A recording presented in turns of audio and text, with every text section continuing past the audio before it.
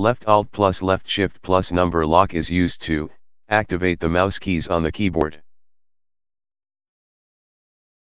From the mouse key setup option, we can adjust the speed and acceleration. Let's control the mouse using the number pad on the keyboard.